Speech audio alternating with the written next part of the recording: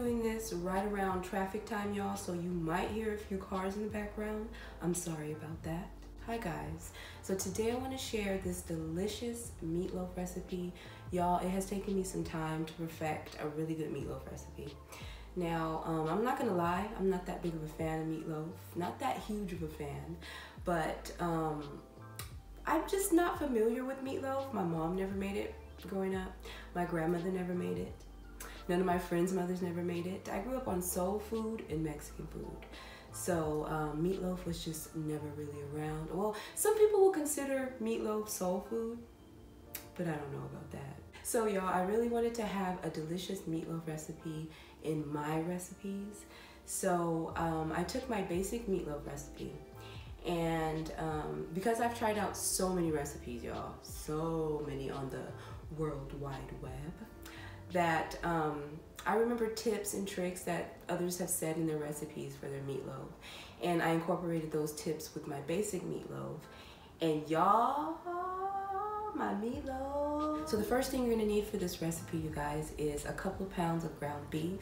You want your ground beef to at least be 85% lean. For this recipe, I'm using a 93% lean.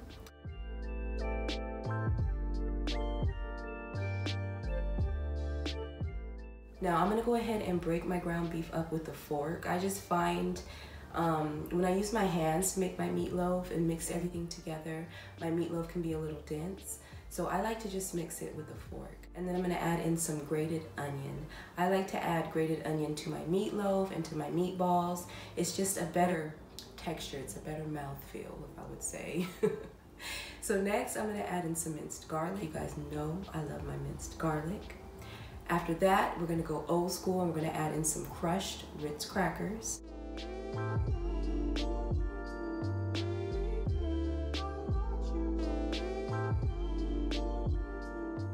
Now after my Ritz crackers, I'm gonna go ahead and add in some fresh parsley. Now if you don't have fresh parsley, dry parsley will work just fine. After that, I'm gonna add in some Italian herb seasoning, some dry Italian herb seasoning.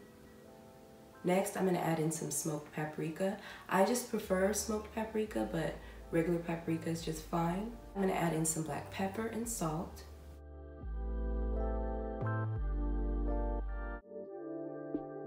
Next, we're gonna add in some Worcestershire sauce. A couple of beaten eggs and some whole milk. Now I'm gonna mix my meatloaf mixture up with my fork. If you're fluffing rice, just fluff all those ingredients together. or you can use your hands if you don't care. I just like to use a fork because it gives the meatloaf a lighter, spongier feel rather than so dense.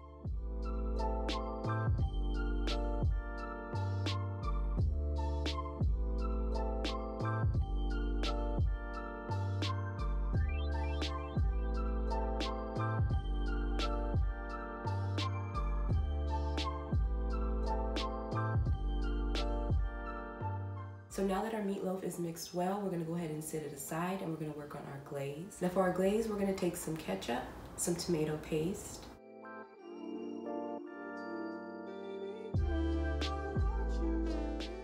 some sweet chili sauce,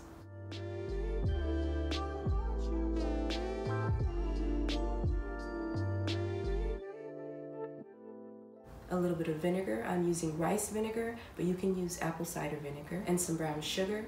And we're gonna whisk this together until it's nice and smooth. You wanna make sure you mix that tomato paste in well.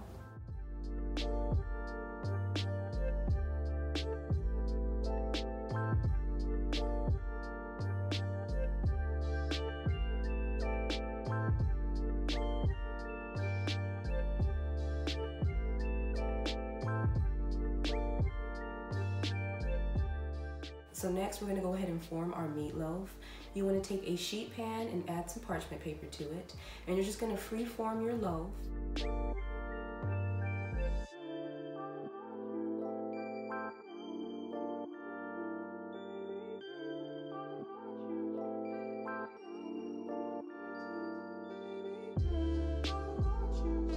So after you form your meatloaf, you're gonna take your glaze and you're gonna slather it on, girl. Now, um, you can do a double glaze, but I just like to do one glaze. I find when I do by the time the meatloaf is done, the glaze isn't as set and caramelized and sticky as I want it, but it gets that way when you do one thick glaze at the beginning. So um, go ahead and glaze it, rub it down, girl, slather it on, get it nice and thick on there. And then we're gonna pop it in the oven at 400 degrees. We're gonna let it cook for one hour.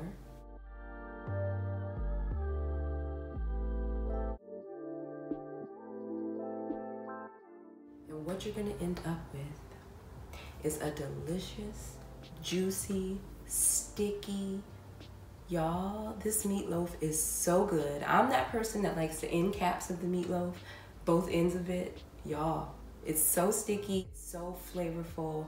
You can taste that garlic, those Ritz crackers add that buttery flavor. Girl, this meatloaf.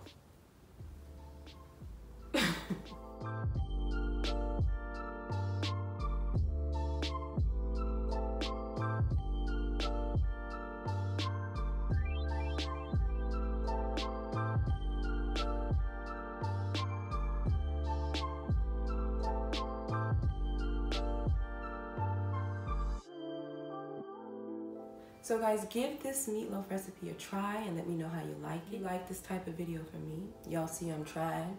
I'm trying, y'all. I'm trying. but if you do enjoy this type of video from me, go ahead and leave the video a thumbs up. Let me know how you like it in the comments. Um, if you haven't subscribed already, go ahead and hit that subscribe button. And I will see you guys in the next video. Yum.